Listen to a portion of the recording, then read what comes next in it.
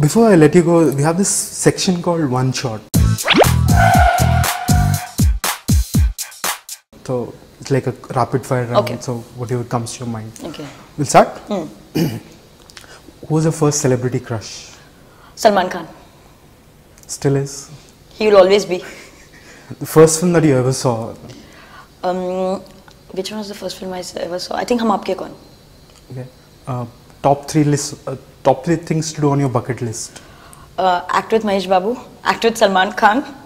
Uh, go see the world. Okay. So very fond of traveling, is it?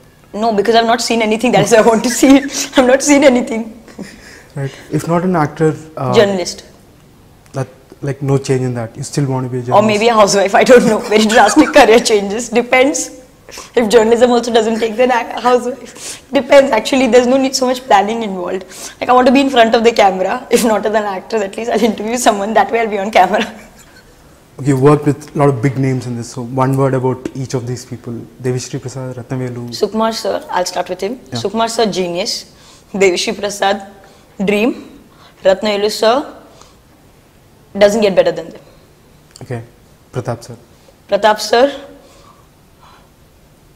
no words for him. He's No gonna be so pissed off. No, no words for him. I don't know what to say about him. One word is not enough for him. Raj Tarun. Raj Tarun, um, mm, I don't know what to say.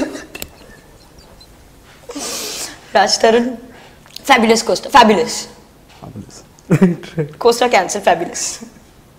Right. You got the film before the film release, right? Um, see, it was my first film. I'm very proud of it. I have no regrets. Yeah. And that movie also did well. So ultimately, I think it always counts whether the movie does well or no. Whether you are accepted or no is secondary. I think the primary thing is whether the movie does well or no.